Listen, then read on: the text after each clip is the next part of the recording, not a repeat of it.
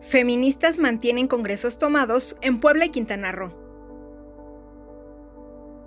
Colectivos feministas mantienen tomados los congresos locales en Puebla y Quintana Roo para exigir la despenalización del aborto y el cese a la violencia machista. Agrupaciones feministas, entre ellas la Coordinadora Feminista Puebla y la colectiva Coatlicue Siempre Viva, tomaron el Congreso del Estado de Puebla desde el pasado 24 de noviembre para exigir que el Poder Legislativo apruebe la despenalización del aborto y se atienda a la violencia contra las mujeres.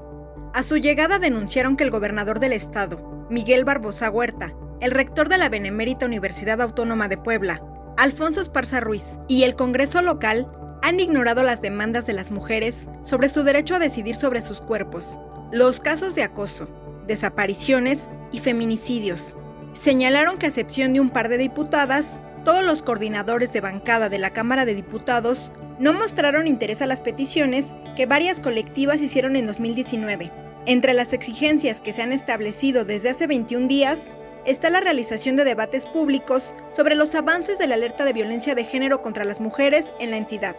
Una reforma que quite la obligatoriedad de que el apellido paterno vaya antes que el materno. La aprobación de la ley Agnes, para que se garantice el derecho a la identidad de género a las personas trans. La restricción a ocupar cargos públicos a quienes hayan ejercido violencia de género. Prohibir la diferencia de salarios entre hombres y mujeres.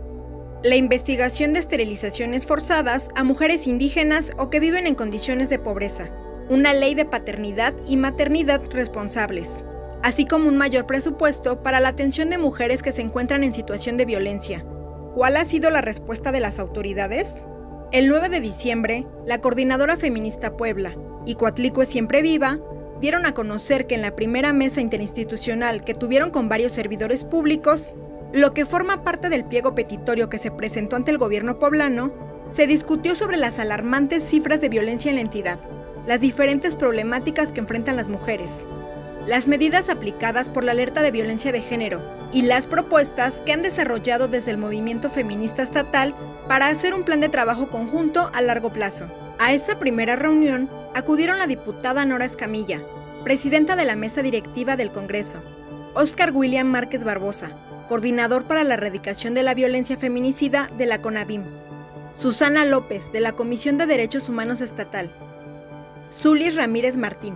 del Tribunal Superior de Justicia,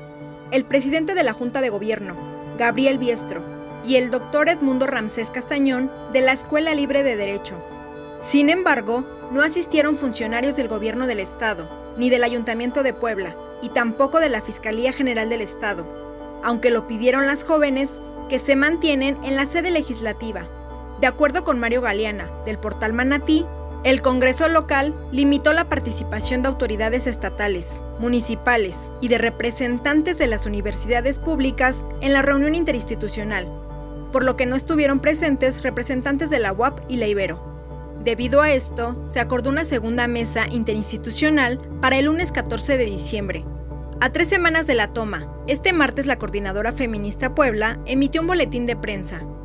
en el que resaltó que aunque diputados y diputadas de la Junta de Coordinación Política, la JUCOPO, se comprometieron a firmar acuerdos puntuales sobre sus demandas, hasta el momento no lo han hecho. Desde el balcón de una de las oficinas del Congreso local, una de las integrantes de la red denunció que han recibido hostigamientos e intimidación por parte de agentes de la Policía Estatal vestidos de civil. Mientras que en Quintana Roo, la red feminista quintanarroense conformada por 28 colectivas y organizaciones, tomó el Congreso local para demandar que las y los diputados lleven a cabo las modificaciones legales necesarias en la iniciativa para despenalizar el aborto en el Estado, a fin de que se discutiera y votara durante el actual periodo legislativo, que termina este 15 de diciembre. Al finalizar la marcha del 25 de noviembre por el Día Internacional de la Eliminación de la Violencia contra las Mujeres, un grupo de manifestantes anunció que colocaría un plantón frente al Congreso, hasta que legisladores y legisladoras atiendan sus demandas. En entrevista para Rompeviento TV, Grecia Uribe y Erika Corneli, integrantes de la red feminista Quintana Roense, aseguraron que desde el 16 de noviembre entregaron un pliego petitorio a las autoridades estatales, con la propuesta de 10 acciones legislativas, entre ellas, iniciativas sobre sus derechos sexuales y reproductivos, como una educación sexual actualizada en las escuelas, la creación del tipo penal de feminicidio infantil y transfeminicidio, una reforma sobre acoso callejero, así como modificaciones a la legislación estatal para facilitar la denuncia de las mujeres en situación de violencia. Dado que el personal de la Fiscalía General del Estado carece de sensibilidad y de protocolos para este tipo de casos, en los que suelen revictimizar a las mujeres que levantan alguna denuncia por violencia en su contra. Tras 11 días de no recibir respuesta por parte del Poder Legislativo y del Gobierno de Quintana Roo, aun cuando en varias ocasiones intentaron establecer un diálogo, la noche del 27 de noviembre, el grupo de mujeres que se encontraba acampando en la plaza cívica tomó el vestíbulo del edificio legislativo. Si este martes, en la última sesión del periodo ordinario de la decimosexta legislatura, el Pleno no somete a votación la propuesta presentada por el diputado José Guillén López sobre la despenalización de la interrupción del embarazo, la Red Feminista Quintanarroense mantendrá la toma de la sede del Congreso local hasta abril de 2021 ya que se espera la dictaminación de dicha iniciativa. El gobierno de Carlos Manuel Joaquín González convocó a que el próximo miércoles, 16 de diciembre, un mes después de que se entregó el pliego petitorio, se instale y realice la primera sesión de la mesa permanente entre la red feminista quintanarroense y el gobierno estatal en la ciudad de Cancún. Al respecto, la red declaró que ante la crisis de derechos humanos y la violencia en contra de las mujeres que se vive en el Estado, se solicitó que la reunión se lleve a cabo en Chetumal, con las debidas medidas sanitarias por la COVID-19. Por otro lado, el pasado 3 de diciembre, voceras de colectivas feministas se manifestaron en la sede del Poder Legislativo de Michoacán e irrumpieron para exigir ante el Pleno de la 74 legislatura que los proyectos de ley sobre los derechos de las mujeres no sean aplazados.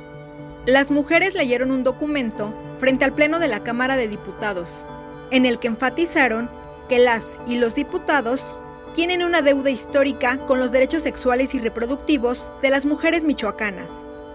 De ahí que al igual que los movimientos feministas en otros estados, demandan la despenalización del aborto, educación sexual y acceso a métodos anticonceptivos, entre otros puntos.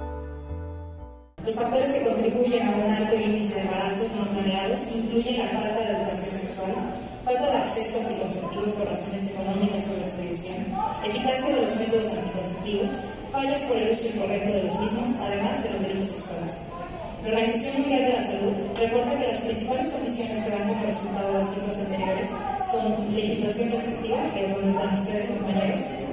poca disponibilidad de servicios, costos elevados, estigmatización, objeción de conciencia del personal sanitario y los requisitos innecesarios. Las mujeres abortamos sea legal o no, la criminalización de la interrupción legal del embarazo es una de las formas más perjudiciales de instrumentalizar y politizar el cuerpo y la vida de las mujeres y las expone a riesgos para su vida o su salud con el propósito de preservar su función como agentes reproductores y privarlas de autonomía en la adopción de decisiones sobre su propio cuerpo. Al día de hoy, solo en la Ciudad de México y en Oaxaca